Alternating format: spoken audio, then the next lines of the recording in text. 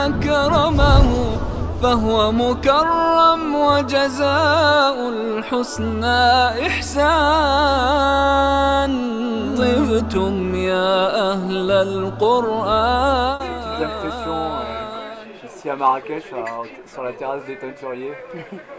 Bah, écoutez, vraiment euh, très bonne, euh, très bonne impression. J'ai passé une super journée dans le souk gel où euh, il y a des fabricants de maroquinerie. euh, donc euh, vous avez euh, des ferronniers, euh, des artisans euh, babouchiers, des, hum, des sacoches, des ceintures, des blousons. Vous avez un petit peu de tout, plein d'accessoires.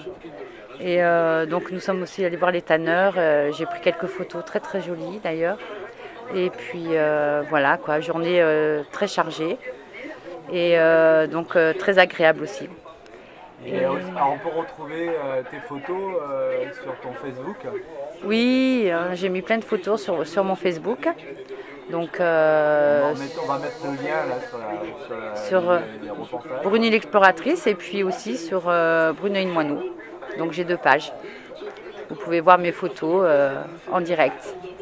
Et sur les Français de Marrakech aussi. Quelles sont tes impressions euh, sur cette ville Principale Moi, c'est une ville très vivante. Donc, euh, jusqu'à 1h du matin, 2h du matin, euh, euh, les habitants euh, se promènent, euh, vont au restaurant. c'est très vivant, quoi. Il y a des enfants dans les rues. C'est vraiment. c'est, c'est- c'est vivant. Pas, pas... Donc, voilà ma première impression. Prochaine, destination Euh, prochaine desti- euh, Tanger.